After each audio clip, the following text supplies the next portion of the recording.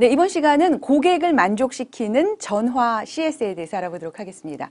저 전화 응대를 하게 되는 경우가 참 많이 있는데요. 전화 응대의 중요성 그리고 어떤 점을 유의해야 될지 알아보고요. 또 전화 응대 조금 더 디테일하게 알아볼 수 있는 MOT 기법을 활용해서 함께 전화 응대 모든 것에 대해서 알아보도록 하겠습니다.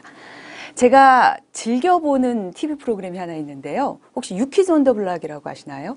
네, 유재석 씨와 조세호 씨가 다양한 분야의 전문가들을 만나서 그들의 얘기를 듣는 그런 프로그램인데요.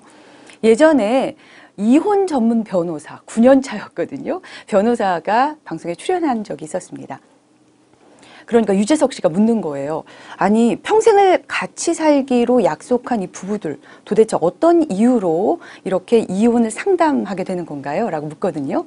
자, 그랬더니 그 이혼 전문 변호사가 바로 이것 때문입니다. 라고 얘기를 합니다. 어떤 걸까요? 네, 바로 말 때문에 이혼을 고민하고 상담을 한다는 거예요. 자, 그러니까 유재석 씨가 깜짝 놀라면서 반문을 해요. 아니, 고작 말 때문이라고요? 그러자 그 전문 변호사는 고작 말이라니요. 바로 그 말이 이혼을 고민하고 또 결정짓게 하는 가장 중요한 요인입니다. 라고 얘기를 합니다. 자, 말. 말이 이렇게 우리에게 중요한 요소였을까요?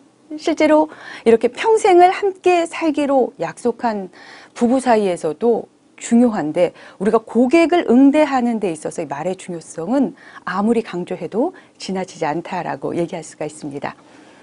특히 전화 응대를 하는 경우 그 어떤 순간보다도 말하는 방식 또 말하는 태도에 예민하게 반응하기 때문에 우리가 전화 응대 잘 하느냐 그리고 조금 미숙하게 하느냐에 따라서 고객 응대의 서비스 질이 달라진다고도 얘기할 수가 있습니다.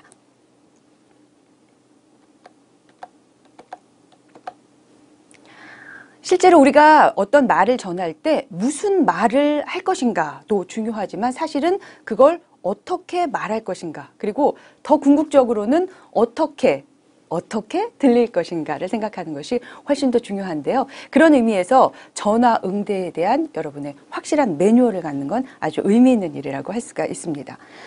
실제로 관계학의 대가라고 불리는 존 가트맨 박사도 사람 사이에 어떤 갈등과 어떤 분열을 일으키는 주요한 원인은 바로 말하는 방식에 있다라고 얘기를 했거든요. 자, 그래서 이번 시간은 전화 응대를 중심으로 해서 어떻게 하면 고객 응대 조금 더 잘 표현해낼 수 있을까에 대한 얘기를 함께 나눠보도록 하겠습니다. 자, 그런데 무엇보다도 우리가 전화 응대를 할 때는요, 주의해야 할 점이 있습니다. 자, 한번 생각을 해볼게요. 우리가 어떤 서비스나 품질에 문제가 있을 때 제일 먼저 찾게 되는 건 어떤 걸까요?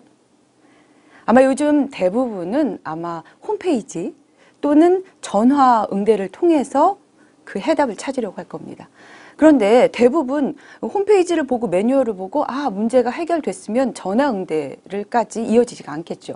그런데 이제 전화로까지 이어진다는 건 뭔가 해결하지 못하는 문제가 있거나 고객이 좀 답답함이 있어서 함께 좀 얘기하고 싶다라는 그런 생각을 가진 경우거든요.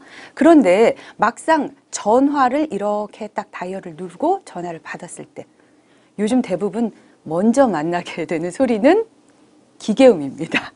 네. 그러니까 직접 고객과 응대하는 우리 직원들의 음성이 아니라요. 기계음을 먼저 만나게 되거든요. 자, 그렇다면 우리가 이 기계음이 아니라 직접 고객과 응대한다는 것은 과연 어떤 의미가 있는 것인가부터 한번 짚어보도록 하겠습니다.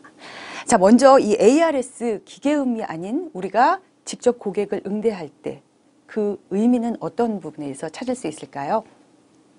먼저 요즘 들어서 특히나 면대면의 어떠한 대응 또는 응대보다는 비대면 응대가 많아지고 있습니다. 그렇기 때문에 사실 전화를 통해서 응대하는 경우에 비중이 훨씬 더 많아지고 있거든요.